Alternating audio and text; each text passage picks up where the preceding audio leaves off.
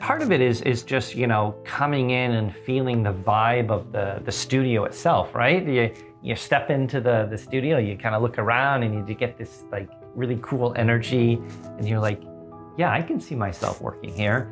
Versus on on Zoom, you just you don't get that, right? It, it's it's well, at least it's very hard. My guest today is the amazing Jimmy Ockey, who is currently the recruiting department supervisor at Animal Logic. For over six years, he supported his team there, recruited and trained future talent. Together, we talk about the recruitment experience, interviews, what makes a good candidate, and how we can cross the bridge from an application to getting hired for the job. You are listening to the 21 Artist Show, a podcast that inspires creatives to make meaningful content to pursue their passions. I'm talking with creators, artists, and engineers about their careers, lessons they have learned, and how to make an impact. I'm your host, Alexander Richter. I'm a technical director and coach in visual effects, animation, and games. For more content, go to 21artistshow.com. Enjoy the show. It's super amazing to have you on the show, Jimmy. It's great to be here. Thanks for inviting me. First thing I have to ask is what exactly does a recruiting department supervisor at Animal Logic do? I guess it's well, well, definitely, I still recruit, uh, and and you know, I, am glad I do because uh, I'm very passionate about the recruiting aspect. But uh, the other part of it is is managing the team. So I have a recruiter, and I also have a recruiting coordinator. So I'm helping develop them. My, in fact, my recruiter started as a recruiting assistant, and through mentoring and training, um, I was able to help uh, bring her up into a recruiter role. So, so there's a lot of that. That's uh, of the the mentoring and training aspect that's involved. Um, and then the other part of it is really just uh, looking at the department as a whole and thinking about where efficiencies could be. So, for example, uh, we implemented a, a, new applicant tracking system uh, that was part of sort of this evaluation of our tools that we had. And, and so I did a lot of testing of different systems and um, talking to different uh, vendors. And we came up with Greenhouse, which is our, our current system, which we really like, and the supervisors seem to, to like it too that was an important aspect of, of the system. Um, and then I guess it's really just a relationship building with the, our different clients. So obviously production is one client and making sure that we're meeting their needs. Uh, and then R&D would be another client of ours. So internal clients essentially, and, and making sure that um, we're partnering together. Uh, and, and I'm not doing all of that. Um, you know, I'm getting my my recruiters and the team to, to get involved in those things and giving them ownership and responsibility as well. Uh, but it, but that's essentially the the key aspects. Yeah, that's something I noticed, for example, when I was uh, working at Weta, that we called the people we are supporting stakeholders, mm. and you call call them clients. So for me, it was kind of a little bit weird because because I'm I'm not coming from this huge industries, from this huge companies. So it was always like the animator basically you know like like he came over and then or he wrote a ticket but it was still like the animator. And when i heard like stakeholders it always feels like like a business and you have investing people and they basically hold the key to the to the investment. And so you have to provide the value so they keep investing kind of. That's what it feels like. So so when when you say like client always feels a little bit like basically detached in a way is yeah i i mean i wouldn't say that's that's the way it feels internally but that the mentality needs to be that that we are a service department right? We are providing a service to the different areas. Yes. so that's why i use the word client but internally no it's a partnership ultimately. We we don't see like a client vendor feeling. It's yeah it's a partnership working together to solve hiring problems yeah, because that's also one of the things I always tell people if they want to become like technical directors is like we are, we are supporting. So we don't actually do do any work on the film itself a lot of times. Mm. A lot of times we only help with scripts, with solving problems, with creating workflows, but we at the end of the day we are basically serving the group that will actually do the movie, for example. And we are not the the ones to that deliver you know. Yeah. So if if we wouldn't be there, like if we would be the only people, there would be mo- no movie basically in, in, the end. So I can feel a little bit the the connection here to to a lot of departments like like yours, for example. Totally. Before we dive into the like the main topic is, did you always wanted to become like a recruiter in animation? Was that something you kind of grew up to want to be? No, not at all. Not at all. Um, I wanted to be an artist. And, and, in fact, I went to school and went through the process of applying for, for jobs and, and landed my first job as an animator at uh, Mainframe. Now, Vancouver, uh, the Vancouver industry back then was really small. So there, there wasn't a lot of opportunities. Um, but uh, I got lucky and uh, started animating on a couple TV series shows um, and then experienced my, my first layoff, which was a bit scary for me. I then started teaching at an, an animation school um, to just sort of bridge a gap before I, I wanted to pick up some some new new work. That was around 2000, 2001, 2002, kind of. Yeah, and and I don't know. I it just it's something that really clicked to me. Is is just um, working with the artists and and I really wanted to to make sure that the artists had the best experience possible. And and I'll be honest, the school that I was teaching at had some improvements that needed to be made.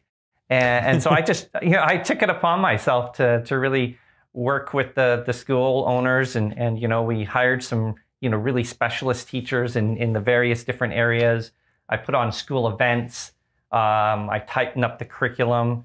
And I just really fell in love with the, the business side of things. And I just decided at that point I was going to go back to school and get my business management degree. I, I really didn't know in the end where that would lead me. But um, while studying, I, I really liked the HR side of, of business management.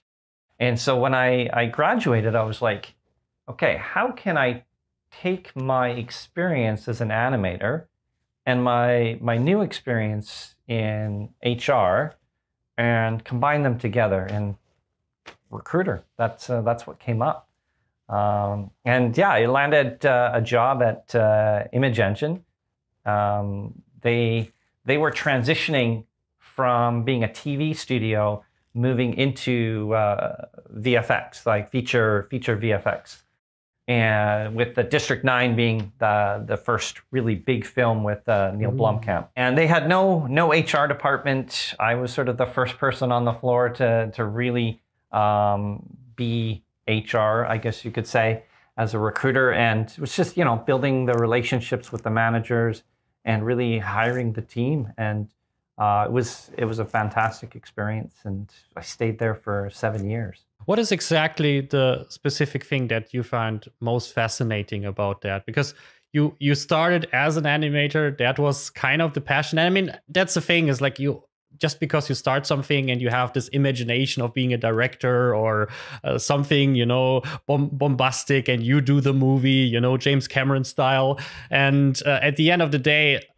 i think if you if you practice it and if you work in it you actually see if it's something that is close to your heart as something that mm. you want to do like day by day you know? And so what was it exactly that you felt is was the pivot point that said like you know i don't want to be an artist. I want to be someone who supports the people. I guess it was it's what's really just in the the doing. I, that you know when i was in the role and you know i'm i'm finding people and connecting them with opportunities and then watching them grow within those opportunities. There's there's just was just something so satisfying about that is being a part of somebody's journey. Why not producer? I like the interaction with uh, with people. Yeah i guess as a producer you're you're probably in that aspect too where you got well you're you know you're dealing with spreadsheets and budgets um, I don't know. I maybe I would enjoy a producer role. not, I have not done it before. After this episode, your, linking, your LinkedIn status suddenly changes. you know, for now, I I think there, you know, it's still something I'm very passionate about and and love talking about. In fact, I was just uh, I met up with a, a recruiter um, last night for coffee. She uh, she just moved, recently moved to to Vancouver, and we had connected at like um, a conference probably six seven years ago uh, when she was uh, living in China at the time, I think. Uh, anyways, uh, living in Vancouver now, we connected and we just uh, chatted for a couple hours just about recruitment processes. I think it was just so fun. I, I, just love talking about it. You described it basically, but that's what I what I mean is like um, it's the job only kind of uh, is is just a box of your interests you know it doesn't mean that there is not not like shifts you know just because you mm. like recruiting doesn't mean you could be you couldn't be like a producer for example because a lot of things are overlapping you know for example yeah. um, a lot of times like i see the same management stuff in uh, leadership roles supervising roles basically it's it's so far away from the artistic or techno- technology part where you basically are more a manager so a lot of people who are maybe not the biggest interest after a while, especially, are in the in the technical part or the artistic part. You know, after a while, maybe you get bored from that. Are, are a lot of times enjoying this kind of supervising role because it is completely different. It it needs completely different skills, and then you kind of if you if that's something that you like that's it's like you know there's like multiple ways to do that there's different parts of a person's journey too right so somebody who's in a role and you know they're they're working and there's the training and development aspect of it. Challenges with the the artists that they have to work through and you know personal problems. Those uh, there's as, that aspect of it too. So you've got sort of artist management you got hr you got training and development. I'm i'm at the beginning. And, and i like being at the beginning where it's connecting people with opportunity. Uh, i think and and that's that's the the enjoyment i i find but I think also if you are at the beginning, it's also you have to have a good judgment of character. I think that is actually because that's the I think that's the the hardest part or one of the hardest parts of of this specific job is to predict a future outcome of someone. Because at the end of the day i mean um, that's no one wants this investment into a person for months or even years and then to find out he was not delivering he's not balancing out the, the group or even toxic or other problems that uh, arises. So basically um, isn't that one of the skills that you have to kind of figure out is to judge someone just by very short yeah. interviews? It's crazy. I mean some interviews are 30 minutes and and in 30 minutes you need to judge that person's character. Now you know i, I think this industry is small right? And people yes. know people. And, and so a lot a lot of what what's coming around is is feedback from from other people that uh, hey you know i worked with this person. They're awesome. Really love to have them on the team again. Uh, so that that still happens of course. Your your reputation travels with you and uh, that's something I always tell the uh, the students that I have is is you know you, you really need to to think about your reputation, who you are. But you know I'm not doing it alone, right? So interviews involve me. There's there's a supervisor and sometimes a lead, and we're we're all collectively giving our feedback together and and if there's an alignment there that we're all in agreement then then you know it's a good sign I always wonder because I also like teach people how to do interviews, and that's something mm. where I'm always. Um, I personally enjoy interviews. I love them. I don't know. I, it's it's for me it became total fun to me. I mean, I think I don't know. You probably had the situation too. Is like interviews sucked, like in the beginning, as especially if you were the recruiter. If you do interviews, you you are very excited, overly excited. You think like you will fail. You're the worst. You start to stumble upon your words, and you know, and, and in a way, in a way, if you do too many interviews unsuccessfully, you start to hate them. I mean, that's the. I think mm. that's a, a, little bit of like this kind of failure uh, streak. But personally I love interviews because I mean it's the same thing like this podcast. I think maybe it, it is connected. Um, that that I love to talk to the people, and I see myself in the same position as the opposite side. So I try to get as much information from the other side as they try to get from me. How much is it at the end of the day, uh, the like gut feeling, if you want to recommend someone or not? I don't think it ever should be a, a gut feeling. I mean that that you know, I, I obviously should be based on on something, some sort of substance, right? Yes. Uh, it, but inevitably, it, it, it, likely does happen. What we try to do is, I, I, or I encourage the the supervisors to have a list of questions, and and, and I not not in the sense it's a tick off box checklist, right? But but in the sense that you're at least you have questions and you have an ultimate goal or, or objective of your interview, right? And that objective is the same for everybody. So everybody gets treated fairly in their, their interviews. So normally I think, at least with artists, you're you're already going in with a, a fairly good sense of skill based off the demo reel, right? So a lot of the, what the interview is is confirming that knowledge and and getting a sense of the personality and and their sort of work ethic, I guess you could say. But isn't that exactly uh, because that's that's one of the things I always uh, tell my my students is is like the interview is not about your skill per se. It's basically what you said. It is to make sure that what you showed is true mm. in a way of interpretation. What I think you are is true because now I have the chance to ask you questions about it and to make sure that what I saw, I think you are, is true. Because you know, just because you saw a reel doesn't mean you maybe understood all the uh, like pieces and what exactly he did. Maybe it was not clear or whatever.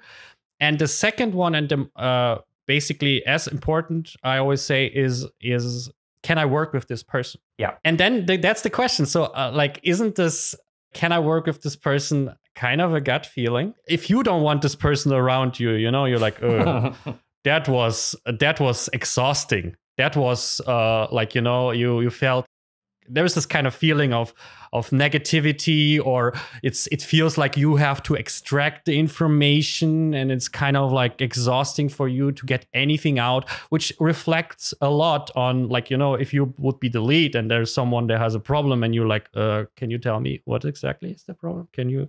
So that's why i mean is like uh, shouldn't it isn't it uh, like the gut feeling at the end of the day? And i don't say like the gut feeling in terms i say it's professional gut feeling you know? It's not just just I hate this guy. You know, it's not my cup of tea kind of guy. Um, I'm I'm more like professional gut feeling of there is something unnerving with this person. I don't. I cannot sometimes point my finger in. And if everyone in the room agrees on the same feeling, I suppose. I mean, but when you get when you mentioned, can I work with this guy?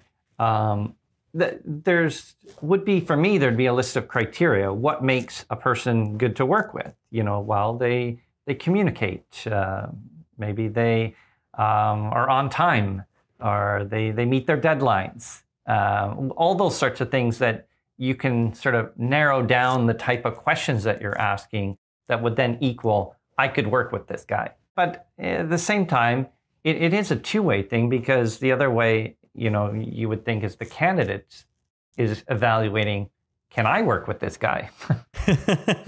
yeah, exactly. I mean, that's I think also the most relaxing interview for you if the other person feels as an equal to you. Mm. You know, it, do, it doesn't feel like, oh, give me the job and now I have to present myself. It reminds me, by the way, I just saw this post. A job application is basically two people lying to each other that's basically what happens if if the two people are not honest or are don't feel like in a safe space or don't feel like they have the same like value in the room you know not kind of like i want this job and you give me this job and that's the only situation exists but um, kind of you want you want a, a worker and i want this job so it is kind of an equal situation. I think that creates a, a lot of times a more balanced outcome at the end of the day. And that's basically what we wanted to talk about is um, the recruitment experience and I kind of like like this phrase. So, what would you define as the recruitment experience? The recruitment experience is is about how the candidate feels about the process that they're they're going through, right? So, you kind of talked about it a little bit with um, you know the interview itself.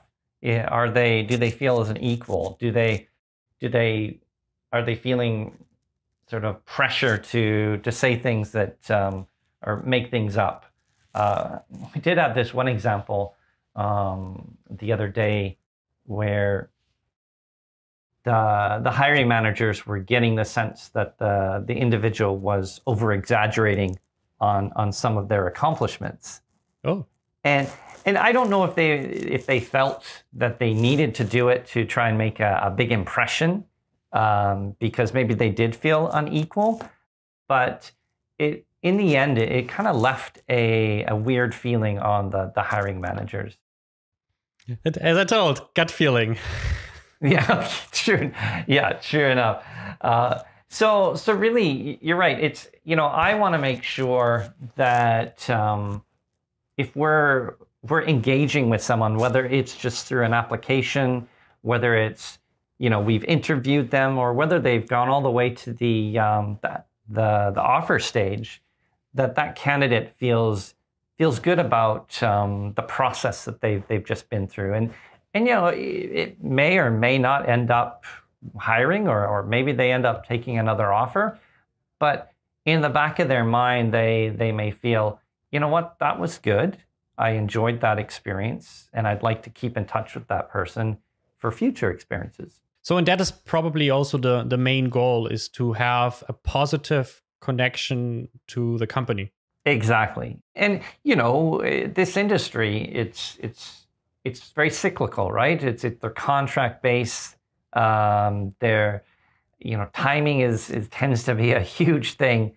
Uh, where you know someone's contract might not be coming up to an end, so when we need somebody, but you have that positive experience still, and somewhere down the road, um, things line up and you get a chance to work together. So, what would be curious for me is like, why is that so important to you personally? Like, why is that something? Because at the end of the day, it's not specifically your job. You like you can just yes and no you know you can it's it's kind of like the the bigger picture of this job. It's kind of this this investing in people that probably maybe or maybe a lot of them will never work for animal logic for example at the moment. And so it is kind of a in in business sense i would say in a way like waste of time or waste of money um, but of course, we all understand that it is an investment in good relationship and stuff like that. What is your personal driving factor to have this much broader experience than just uh, okay, we are interested in this person, so we woo this person into that, and the rest is like because you have to handle a lot of people and it creates a, lot of extra work to keep all this engagement. I mean, uh, I literally talk to some people and and recommend them to keep um, people connected. For example, on LinkedIn. You know, for example, we are sometimes writing to each other on LinkedIn throughout mm-hmm. the years.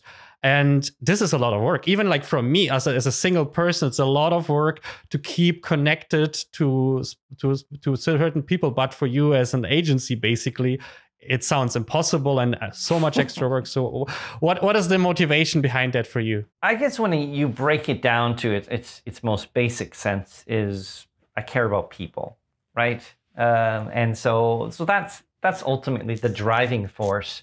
Um, but I, I think you know eh, ultimately, I want people to see animal logic in the best sense possible and so I represent Animal Logic. And so any of my interactions with people um, represent the company.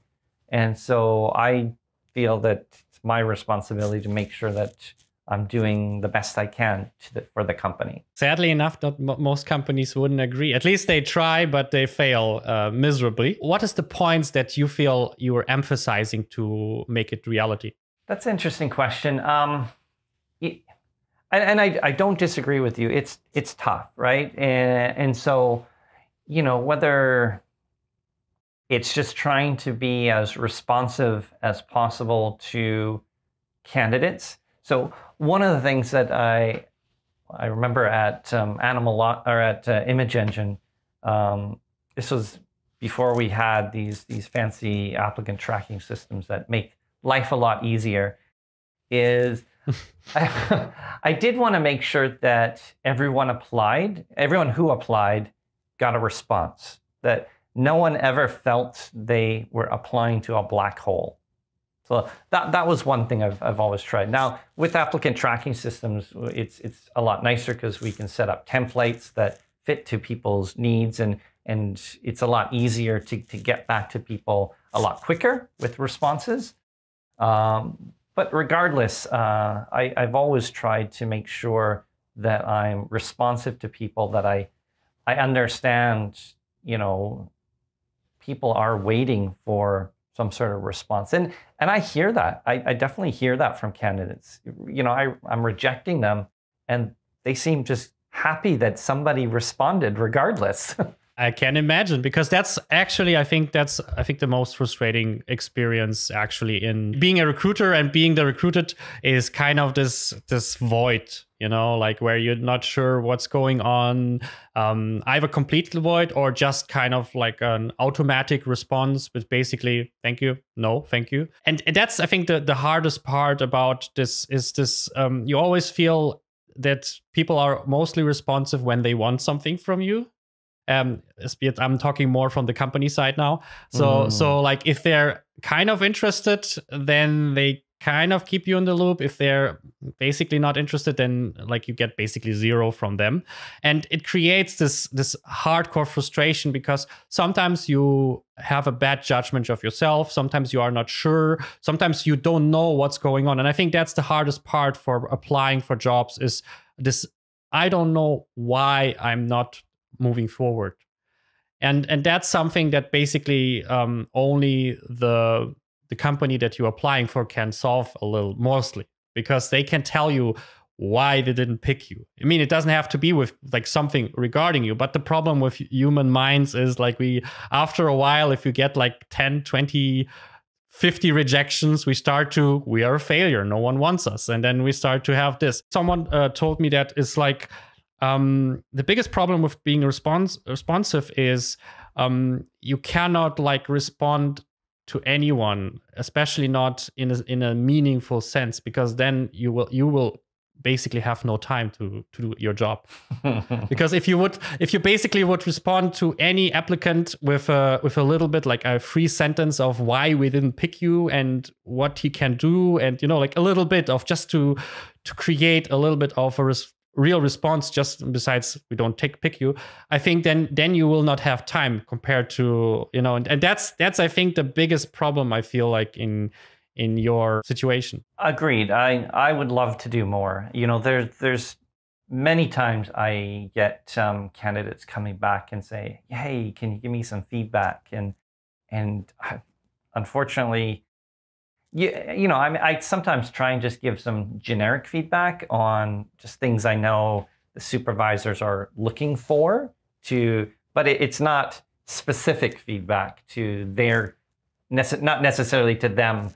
Um, so I do try and, and, and do the best, but you're right, there, there just isn't time. And uh, that's unfortunate because uh, I think people, if they got specific feedback, it, it definitely could make a difference. I mean, that would make the, the difference of like also what should I do in the future? You know, mm-hmm. should I push harder on that because I'm not good enough, or should I continue because it's just not the reason because of me because it was bad timing? Or uh, there's a lot of sense. I would be curious. I, am not sure if you have something of a statistic on that point.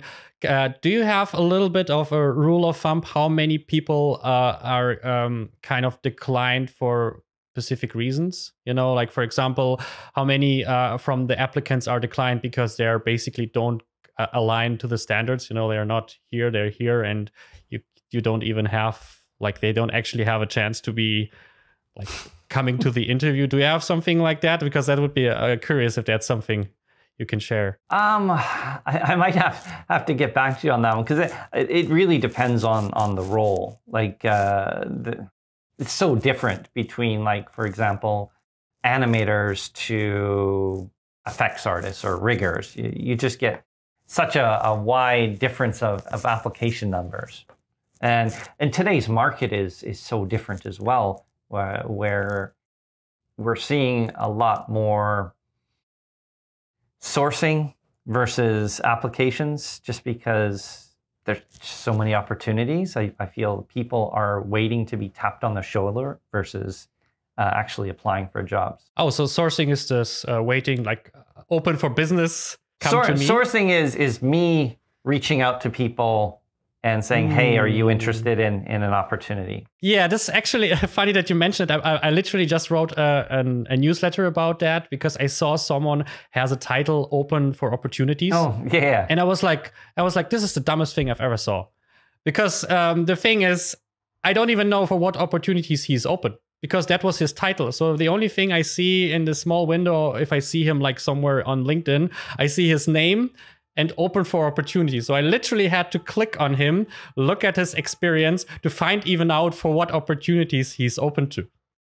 And and this is so kind of a waste of like like energy, you know. No one, no recruiter in the world will, if I don't know this name, but I see like something on the sidebar or something, I will not do the effort and go through his experience just to figure out. But if I see like, oh, technical director, and I'm searching for one, maybe I click on that, you know. So it, it is this this actually this thing where I say where I actually mention in this new newsletter is like um, you shouldn't be open for opportunities. You should strive to to create opportunities, which means like you should have a LinkedIn account. You should apply for jobs. You should uh, tap uh, recruiters on the shoulder and say, "Hey guys, I'm I have a new show reel. How about that?" You should keep connected to recruiters especially or maybe maybe other people you know like uh, general updates. Ask them maybe questions. For example, that's one things I do. I ask sometimes um, artists is like, how is it working there? Hmm. You know, is like how how is that uh, being at Animal Logic in the lighting department, for example? Like, what is the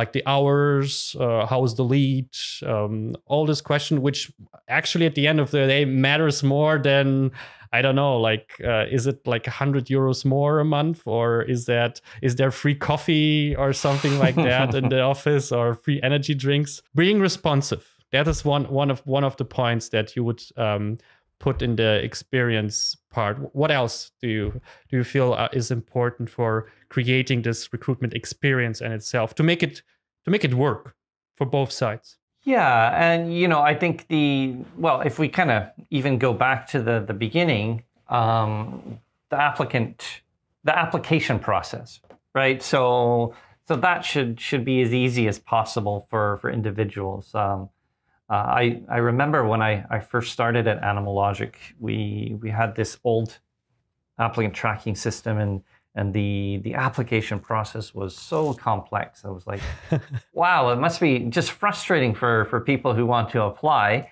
Uh, we need to make this easier for people. Uh, so so that that's exactly one of the things that I was looking for in the new system is, is something that that really helped. And you know, I guess just if somebody wanted to apply and they were thinking about it and they clicked on the job, it would be simple just to, to get their details in there. And, and so that that is part of the experience is is is that application process, and that was important to to me um, in creating a good experience. Yeah, I remember. I, am not sure what, what kind of system exactly is uh, at Animal Logic, but I remember uh, applying for Pixar, and they have this weird uh, adequated system at still, which is like absolutely horrible. And um, one of the things uh, I absolutely hated about it, and I, there are multiple companies who have this, is is when you have to type in each experience manually each time you apply for a job. And I remember I applied like for three positions, like three positions, and every time I have to like have my my seven work experience, my three universities, and um, with all the details because you also want to pack a little bit of the project that you worked on and stuff like that. And I remember uh, after the third time, I kind of skipped half of it. I just like like i don't care. Like uh, it, it is not like literally it, it, was strange. I mean maybe it's it's weird but it was like it's not worth my my time to to do it free time. I feel so dumb that like i don't even care to apply anymore kind of way. Because it is dumb. And I, I saw that a lot of times and it's like I know it helps you guys because it makes everything more data based and stuff like that instead of having like a resume or something like that. But this specific thing where I was just thinking, okay, I'm applying for Pixar. It is mainly engineers who are working there and they cannot get it right that it saves my information, that I can reuse it again and don't have to do it again. This is basically what you say with the recruitment experience. This destroys a little bit of the feeling I get to get inside because for me, it's like if they don't care about the movie, if they don't care about the title, I, I have already a bad feeling about the movie. Um, you know, if they don't care about the website where I'm applying, I, I I'm not sure if the the fanciness of the result is the same you know kind of uh, it's a weird mm-hmm. thing but uh, that's why i agree with your uh, assessment of how important it is to create this like banner in front of the building basically to to like express the same quality inside as outside mm-hmm. and now that, that doesn't mean we we don't want effort from from artists as well right so you know oftentimes we might get just a LinkedIn, a generic LinkedIn profile that's uploaded as a resume and it, it, doesn't have a lot of detail on it. And, and of course, you know, we, we want people to put forth effort to show that they're interested in the job. But sure. dealing with the software itself and, and applying, that's where I said it, it needs it needs to be seamless. It just needs to be encouraging we now went through the stages. So we basically applied. We we went through. Um, we get in contact with you. Maybe a back and forth. Maybe we get a little bit feedback through time. So what is next in the experience uh, structure? The interview, of course, would be the big one. Uh, coming in for the interview. Um, well, I guess it's Zoom these days, right? So, it not not my favorite. I, I I mean, there there are some positive aspects. I was just chatting with the the recruiter yesterday, as I mentioned, and and we were talking about sort of the pros and cons. And you know, I, I realize that uh, at least local people, um, if you're if you're hiring someone or, or interviewing someone, and they're working, it you know, if if they're coming in for an interview, they need to think about, oh, I got travel time, and I got to take this big chunk of time off work. You know, how does that work? Um, Zoom makes that so much easier, right? So they can just kind of pop up, uh, pop off in a, a, quiet room, or maybe step outside, and um, it really shrinks the the amount of time they're taking off work. And I I can appreciate that, but you definitely miss something about um, being in person that that um, that I, I I'm looking forward to get, getting back to. Uh, and and part of it is is just you know coming in and feeling the vibe of the the studio itself, right? You you step into the the studio, you kind of look around, and you get this like really cool energy, and you're like, yeah, I can see myself working here. Versus on on Zoom, you just you don't get that, right? It, it's it's well, at least it's very hard. Welcome to our short mid episode coffee break. If you love the content and would like to have a successful career in the film or games industry yourself, check out my website 21artistshow.com.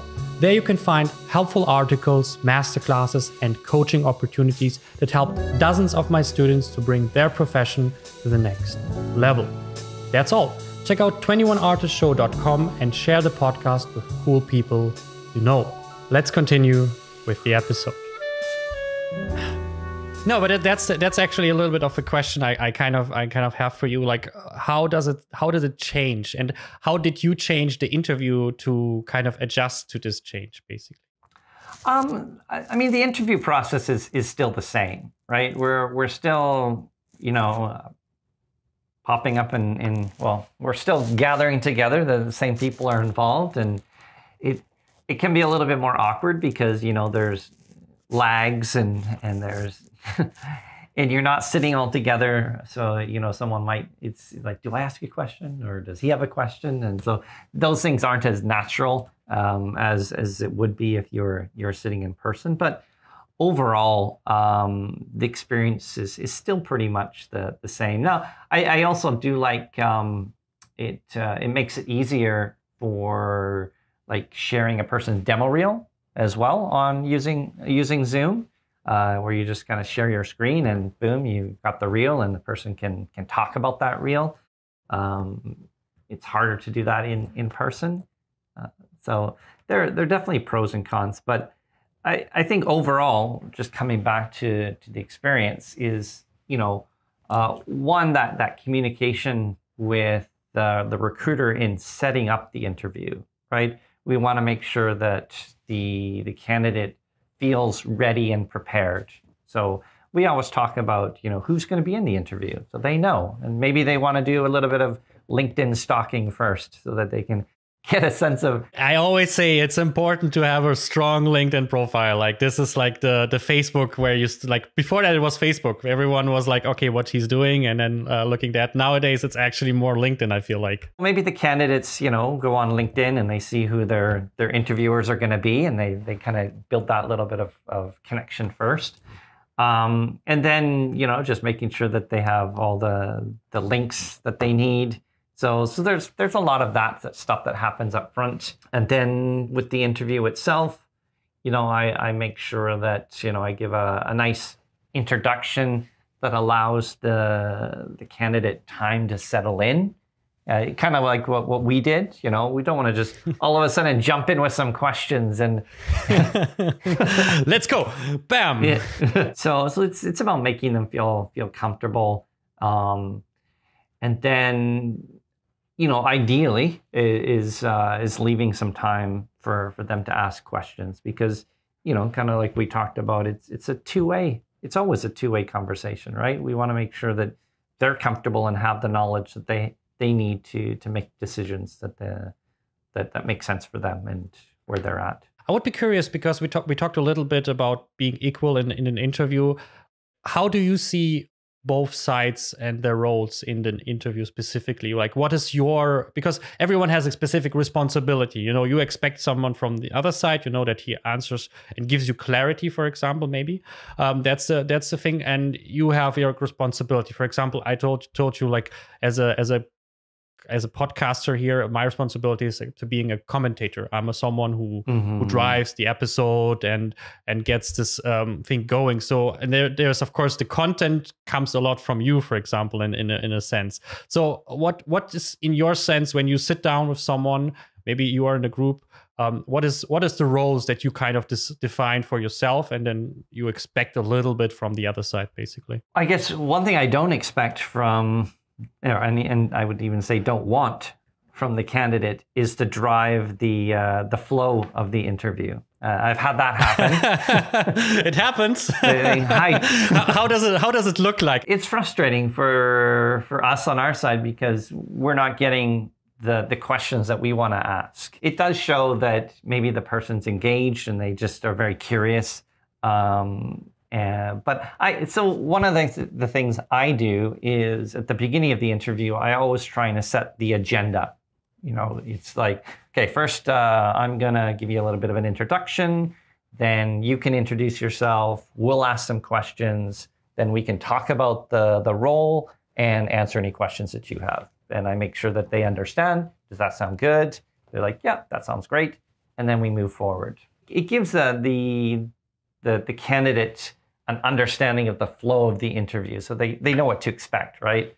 Because um, I, I, think that's probably the probably the biggest thing for for a candidate stepping in an interview is what what what should I expect uh, as part of this conversation? In some instances, it could be perceived that that person is challenging to work with because you know the supervisor or the lead's going to go and try and talk to them and then they're just going to go off and, and it, it's hard to manage them and, and uh, so it just you know it always needs to be a balance of conversation where if i'm asking a person a question they're not giving me the shortest answer possible and they're not going off on this tangent for for half the interview but really they're just thinking about the compact question making sure they're answering the question and providing the detail necessary. We align a lot of things. It's the same thing with with with us, for example, as like I, I, I like ask questions or or push some topics, and then of course it would be bad if you say like, stop. you know, and, and, it would be also kind of uh, bad if you start to go like. Uh, uh, Neverlands basically. So it is a, that's the same same thing. So I kind of kind of can can relate to to that situation. One of my favorite one of my favorite stories um, is uh, we had this one interview, and it was uh, it was um, via telephone.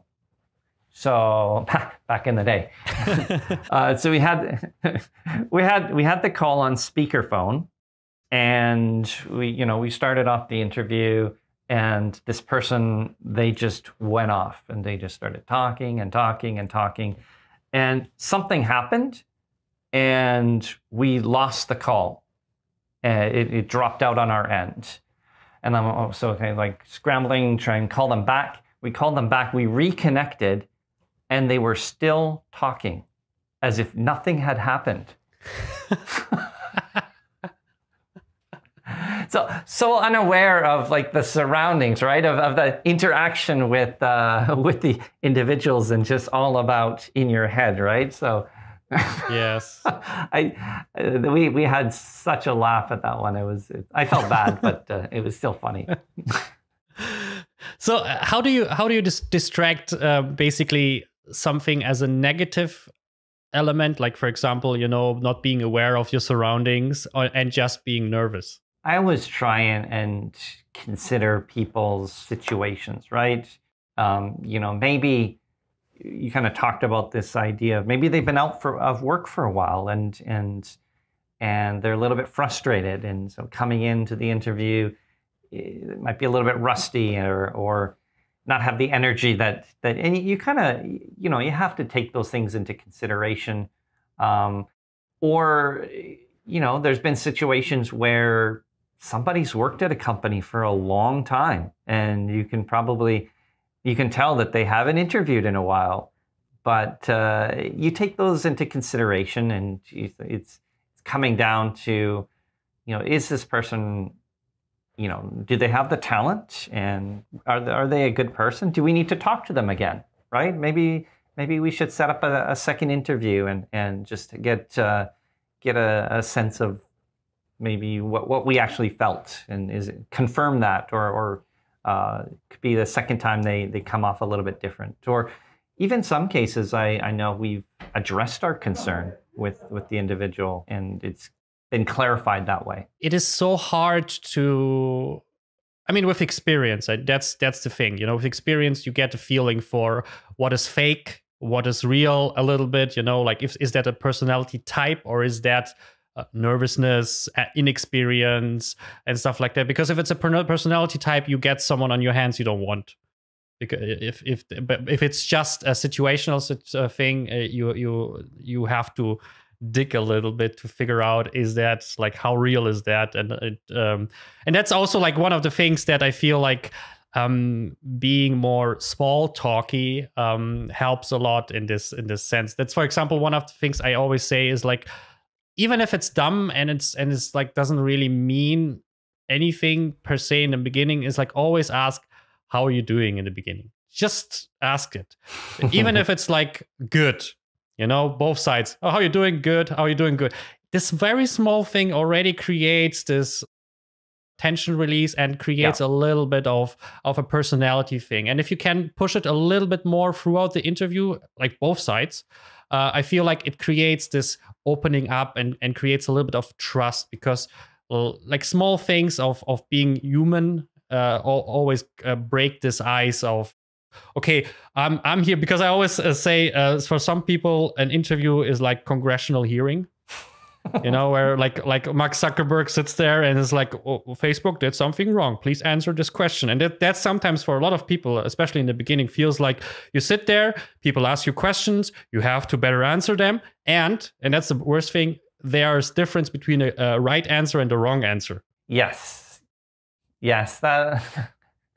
that that's the challenge, right? You you are being judged on your your answers. You know, I was just thinking the, the one of the other things that comes up quite quite frequently too, and especially in this international market, is um, language barriers, right? So that's another thing that I, I, think we do take into consideration is people's ability to answer questions. Are they are they really trying? Is it is it just because of some language barrier? Do we still feel that uh, regardless of that, that they're still able to to deliver great work, and we can work with that? Then then sure, why not?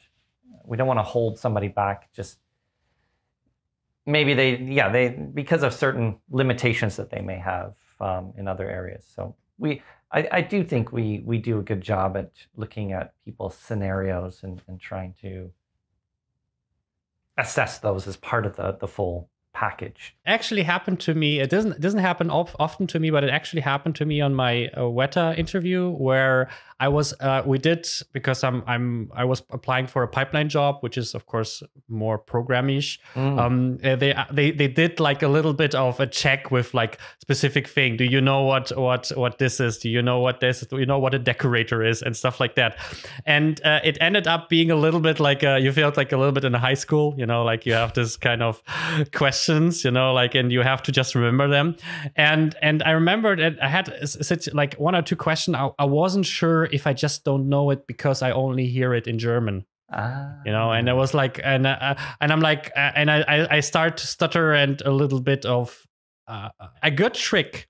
Uh, I always say if you don't know know an answer specifically for a do you know it question, um, just ask I'm not sure. Can you explain it? And sometimes the other person will kind of explain the question a little bit more. So you can, even with language barrier or understanding barrier, maybe you just don't know the specific word that they're asking, but you understand in context. And the, the best part is they just explain it. And then you can always say, now I know. Mm, I, I, like it, that. What it is, and that's something I, I, like uh, that. I can I can uh, relate sometimes. I didn't have it too often because, to be honest, I'm not sure. Like that would be interesting for me. How often do you have uh, like very technical questions? And I mean artistically and technical technically so skill questions basically how often do you in the interview is is focused on like literally like do you know what poly da da da is? Do you know what uh, da da da is? Of course, probably not from yourself. Probably there's a supervisor or lead in there. But uh, how often do you have that situations? Probably almost every every interview. Oftentimes it would be you know we've got the the reel uh, playing in the background, and we'll we'll sort of dig into that um, those technical questions on the on the reel. But but yeah, they they're part of the process. It's you know, it's not not huge. Maybe you know, there's there's some get to know you questions, some technical questions, um, some more work ethic type questions. What do you think about overtime and paid?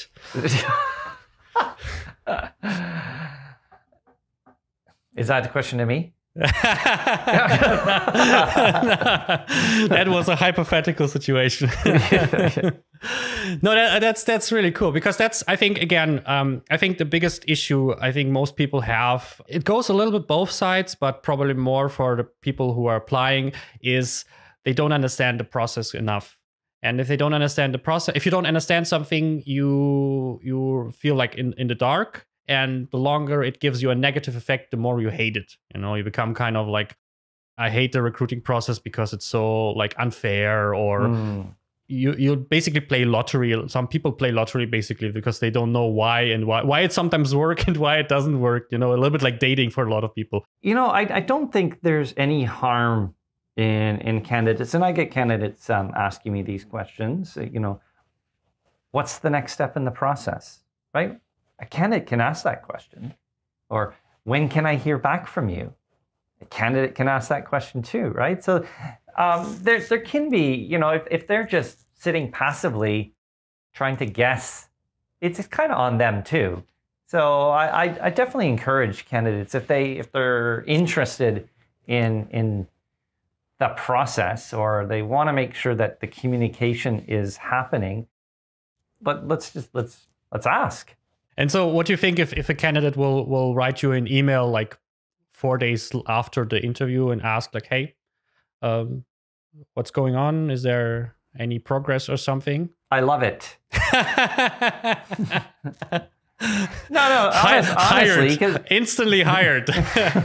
the worst thing is is when you you get back to a candidate and then they've already accepted a job, and you're you're like, what? We we just had a conversation, uh, interview a couple days ago and you're no longer available. Why didn't you say anything? Yeah. Why didn't you tell me, hey, I got an offer. Um, what are you guys still interested? So the lack of communication for me is what frustrates me. Is I, want to hear from the candidates. But that is actually a, a big point. I can tell you. Um, I had a lot of people telling me they are afraid of asking uh, what's going on you know kind of like after the interview um, they were waiting like one week two weeks and they were afraid to write an email and ask, hey, uh, is it still like going? Where what's go because they were afraid to annoy people and i i can specifically point a little bit mostly at women because they have a, a little bit more of this kind of empathy and they want to like don't push their luck too much. And um, th- this is actually something where i always say like if you are nice if you ask nicely you know if you're not like hey where's the, where's the contract?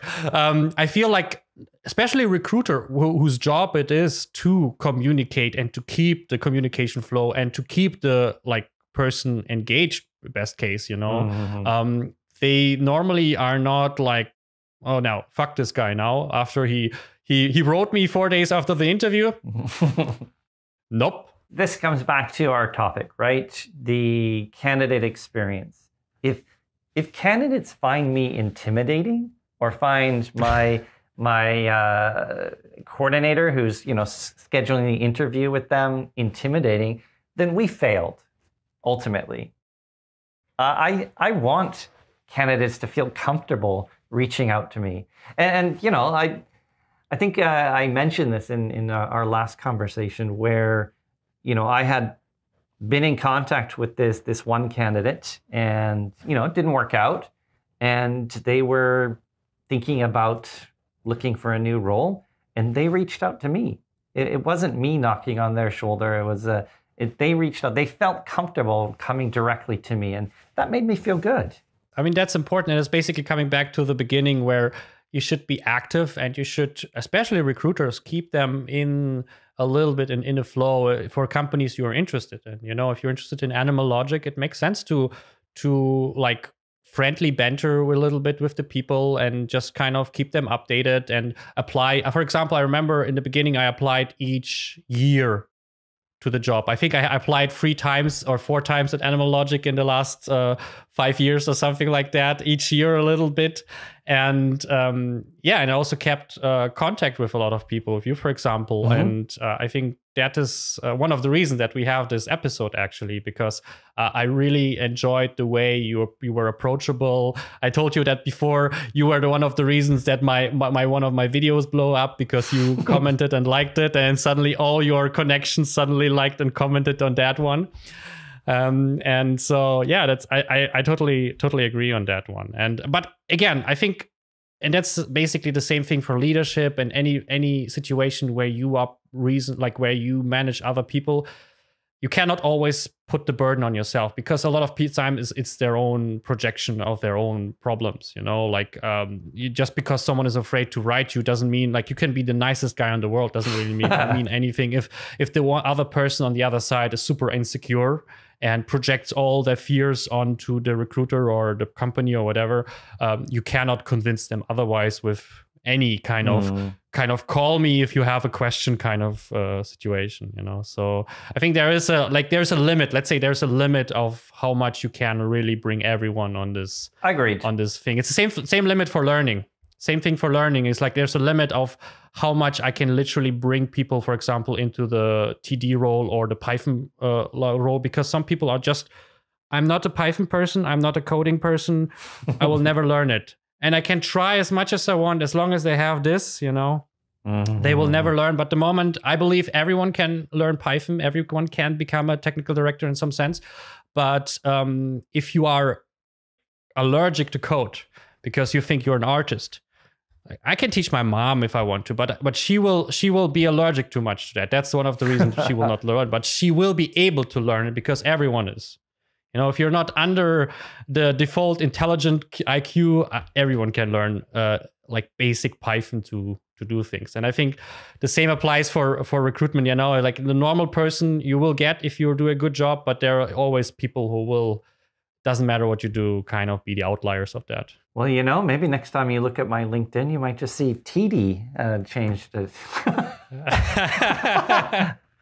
Gonna go Two learn some later, Python. Py- Python courses, and yeah, yeah, yeah, I, I see that. no, that's fantastic. So after the interview, then of course the last stage is, of course, you either uh, the the person gets the offer or the, in most cases probably not no? like the, the the percentage cannot be the same um, yeah so so what is important for you for the aftermath basically when i first started uh, animal logic um, we tried to do uh, phone calls for, for every offer that, that we made. And, and I liked that. I definitely like that approach because, you know, you're talking to an individual and you're answering questions that they have. That sounds cool. But yeah, but I did, I did find over time, um, I started giving people the option.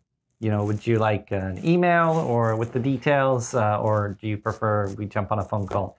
And I would say about 90% of people prefer the email. And maybe it's, it's just easier. I, I think, you know, people are busy these days. And... Oh, wait, wait, wait. Is, is, it about, is it about just receiving the offer or is it about contract negotiation? It's about receiving the offer details. Okay. So I, I basically, when we deliver an offer, there's key points to the offer that we're talking about. You know, your, your title, your level, uh, the salary, um, if it, there's relocation involved, we're going to talk about that.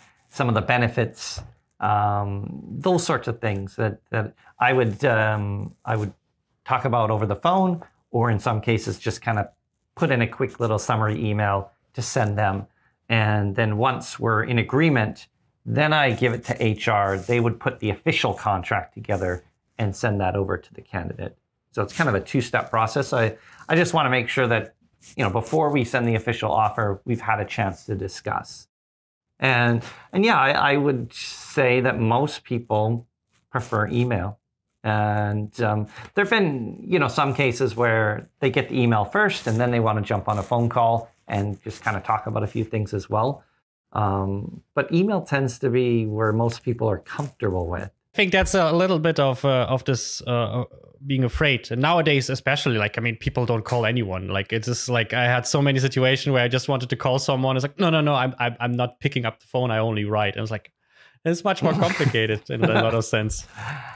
I know, I know. Um, I it's much easier for me to just jump on a quick call and and, and talk it through than I have to think about writing out a full email. But um, you know, either way, I, am I'm doing my best just to to be available for for people to answer questions um, and concerns that they may have.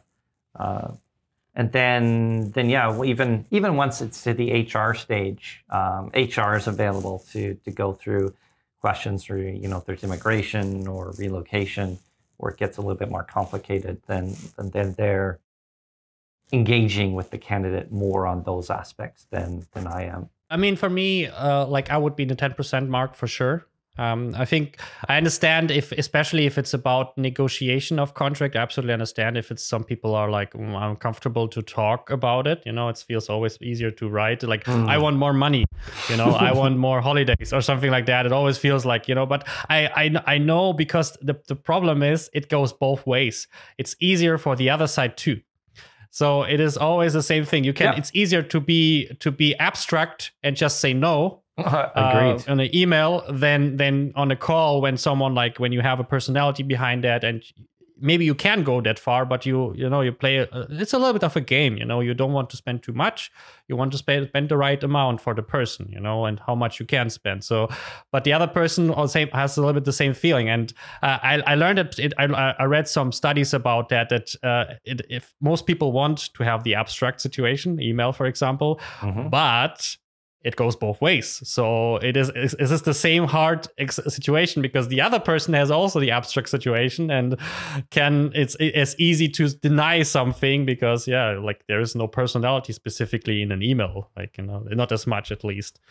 And so I always say like for me uh, it is a, a, a situation of working with other people. So I feel like I I I would enjoy a call basically like same thing like a call without video. like, you know, an interview without video would be strange for me. Nowadays, yes, definitely would be.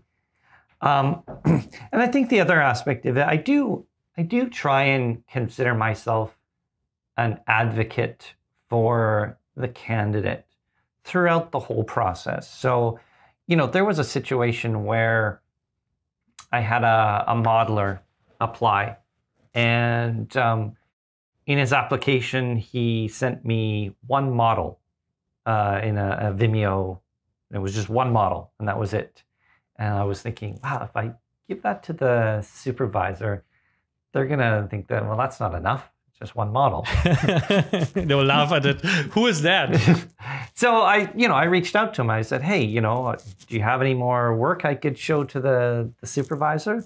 And he he sent me a bunch of extra stuff, which was great. And then when I put forward that stuff, the, the supervisor really liked it. There was a lot of variety that they they saw, and and so I I am trying to to always think about, you know, I need to do my best to to sell this person to the the supervisor.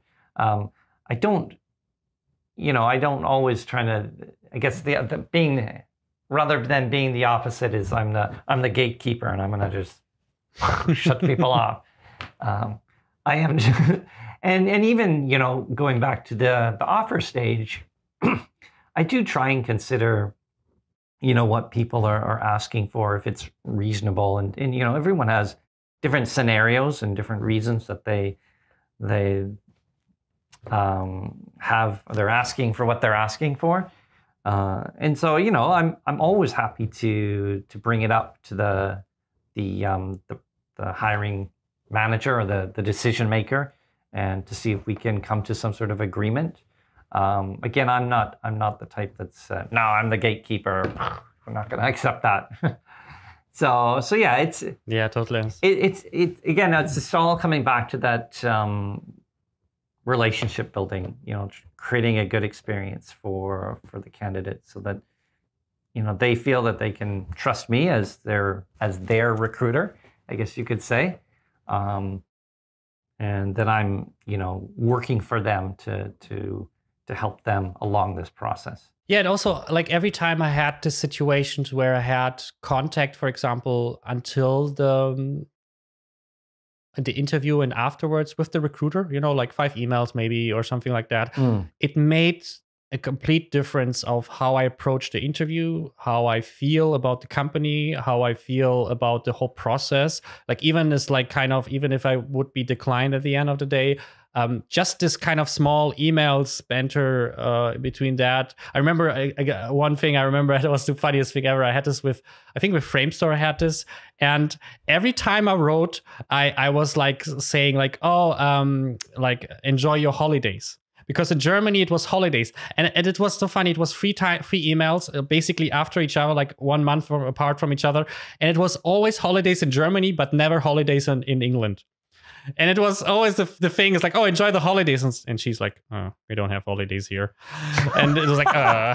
I was like, oh, I hope, hopefully I didn't fuck it up for the interview later. so I was like, thank you, but we don't have holidays here in, in England. we have of course the other side the the the, the bigger side which will be declined you know um, the the more people apply than you actually can hire at the end of the day. So you have to decline them. So there will be uh, probably a call an email or something like that. So i i remember i told you in the pre-call uh, uh, that i absolutely hate them. Um, the the the post uh, interview emails or the post uh, apply- application emails and i think they suck um, so I collected four of of the emails I got um, after I applied for for a company, and I, I, I would like to have your rating on one to five Amazon rating. Uh, what you think about decline email? Okay, so I will not tell you uh, first who it is. I will tell you later. Um, okay. So okay, so uh, Amazon review, five stars, fantastic. One star, this is horrible. Okay, four, four okay. things. Okay, Dear Alexander, thank you for a recent application for the position of a film crowd TD at our office. Unfortunately, on this occasion, we will not be taking your application any further as other applicants more closely matched our requirements. Thank you for your time and interest in company, and we wish you every success with your search for suitable employments. Kind regard. That's in in a in a just text biased, like literally like just a text based email. I I'm I'm going to be a little bit biased uh, on this one because it's that is a very common generic one. That welcome uh, welcome to what I, what I, I meant. I will even admit that that we use. So I'm going to give it a three. Free. Oh, that, that, that's very kind. Okay, that's very. I would get a two, but okay. That that was that was Framestore. Dear Alexander, next one. Thank you for giving us the opportunity to consider you for employment. We have received your background and qualification, and unfortunately, your application is not a fit for our current needs. We appreciate your interest in company and wish you success in your job search sincerely. Yeah, I didn't like that one. Um, I'm, I'm going to give that one a one. Thank you, ILM. Next one. Hi, Alexander. Thank you very much for your application. We truly value your interest in our studio. Smiley face. Right now, we don't really have a position that we could recommend for you, but perhaps we'll have a chance to talk to each other in the future. Remember that there are more vacancies to come here at company. Once again, thanks for your time and effort to put in your application, and we wish you all the best in your future career path. Best regards, recruitment crew. I'm gonna give it a 3 I, I, I mean, it was it was nice. It was nice. I, I mean, oh, okay, a two, a two then. Just wait, wait, wait, wait, wait, wait, wait. Uh, five is, is best and one is worst. Yeah. Yeah, yeah, okay. yeah. I okay. mean, the, I know. that my reasoning, my reasoning is okay, right. The the first one, it it did kind of give a reason that there were other applicants that better fit, and and, and to me that that was the the reason that the other ones don't really give a reason. The language out of all three of them, I, I think they were very polite, right? And and um, but um, you're all right. You are right. It's it's nothing specific. okay, this this was uh, CD Projekt Red from The oh, Witcher. Okay. I would give it a four. I think actually. You, you like that one? I, I like that one uh, because because it, it it made me feel like something. You know, it made me feel positive about them. Just the words. I understand that what you said is actually true, but uh, to be honest, like, what is the difference? Like in both situations, of of course they didn't take me because someone else either got the job or they canceled the job or something like that. So it, like even the small sentence doesn't mm. really matter, and that's what I like to be honest. Okay, okay, okay. Yeah, I I, see where you're coming from on there. It is um, the value. It is this this feeling of we love you, but we you're just not the fit at the moment. It, at the moment, it's very important here. In that case, and, and I, I the, the wording on that email tends to read that you didn't apply to a specific job. I think it was a general a general application. Interest, yes. Okay. Okay. Yeah, that, that makes sense in terms of the, the language that they. else, it would be weird if I would apply for a technical director job and they're like, "We don't know, we don't have a position for you." it was like, huh? yeah, that's true. You're right. Um, you do want to come out feeling like, um, you know, that you're valued, despite there not being a particular role. And that's what I, I, like. And that's what I told you. Yeah, of course, sweet words in, in some sense. But I mean, if you know CD Projekt Red as a company, I think also it comes a little bit over. You know, I think it swaps also in this email. Like, you know how they are. They are very famous for having a good relationship with their customers and stuff like that. Mm. So um, I think it also has something in the back of my mind a little bit. And it comes over in this email, I feel like, you know? Yeah, yeah, yeah. So I would give That's it four. Nice. You still at two? No, no, no, no, no. I, I would agree. As a gen, as a general interest application, uh, with taking that in context, I wasn't sure what what it was because, because but I, f- I think it was uh, more of a I'm interested uh, here in general. Then then yeah, it works. It works as a four for me. Okay, final one. Dear Alexander, thank you for giving us the opportunity to consider you for employment. We regret to inform you that after careful consideration, we will not be moving forward with your candidacy for this role. We will retain your application information and may consider you for future opportunities within your skill set as they come to light. We appreciate your interest in a role here at company and we wish you all the best in your job search. While this particular role wasn't the right fit in this time, we encourage you to remain proactive in your quest for the perfect job here at company. I like that one.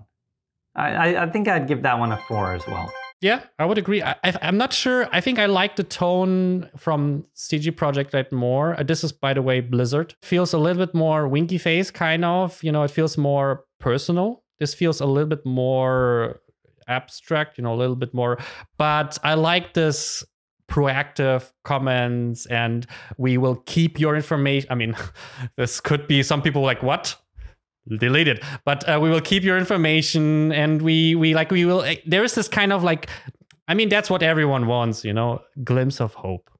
You know, that's Yep. the that's Yeah, what they do. I think really, really good. I can send it to you later. Maybe you, you want to copy paste Yeah, it. that would- that would be great. For suddenly, suddenly, like every every Animal Logic email sounds like Blizzard in the future.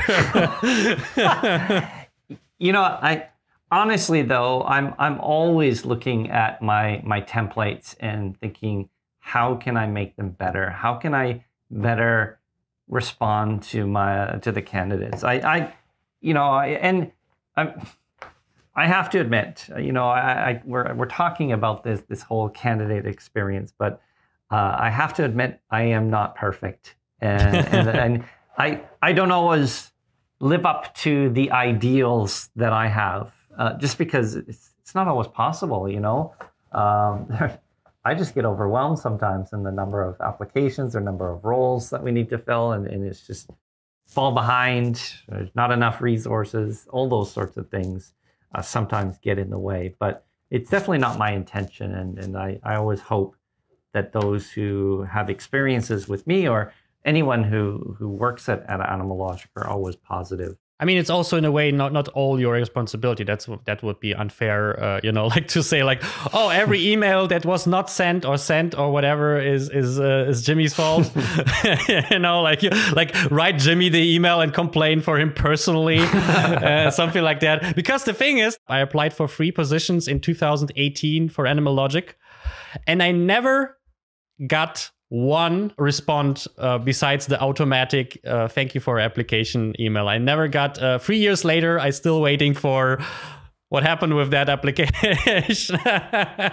so I was a little bit like uh, because I was looking in that situation. Of course, I was, uh, I was because I, I, wanted actually to bring an Animal Logic um, email to that as a as a kind of a rating situation, but I couldn't find one because I never got one. So I don't even know how how it is to to, to get this email.